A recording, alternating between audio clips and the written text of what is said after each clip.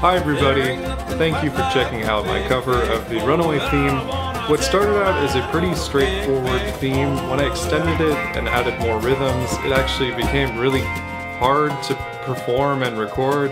Uh, so once again, I'm actually pretty glad to be done with this one. It ended up being a lot harder than I thought it would be. I mean, just that ukulele part alone, my hand is going like 100 miles per hour. I'm not used to playing ukulele that fast. If you want to watch more of these Thomas videos, I've actually put together a playlist of all of them so you can watch them back to back. Uh, it's in the description below or in this card up in the right hand